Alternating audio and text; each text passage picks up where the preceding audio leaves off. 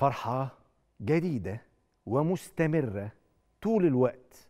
منتخبنا الوطني لكرة اليد. النهاردة بيحقق فوز كبير 30 19 على المنتخب المغربي وبصراحة كان فوز متوقع. يعني الفرق القدرات الفنية والتاريخ في كرة اليد لصالح منتخبنا الوطني. المباراة ما كانتش صعبة على المنتخب المصري رغم ان حميد النهارده تألق جدا في حراسة المرمى وخد أفضل لاعب في هذه المواجهة. إحنا كنا كسبنا كرواتيا والأمور بالنسبة لنا ماشية في طريق محترم جدا لأدوار متقدمة في كأس العالم لكرة اليد. وعايز أقول حاجة بصراحة.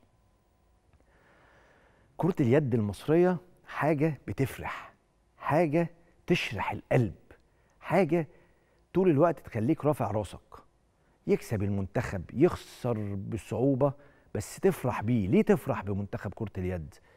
إنه أنت بتروح تشوف منتخب كرة اليد في البطولات العالمية بتقول له نافس. ما بتقولوش اعمل اداء مشرف. بتقول له نافس.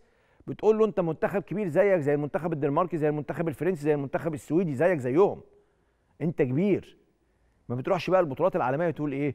إحنا أهم حاجة اللي إحنا وصلنا كأس العالم. لا. إحنا بالنسبة لنا منتخب كرة اليد أهم حاجة توصل لآخر نقطة في البطولة. حاجة رائعة جدا.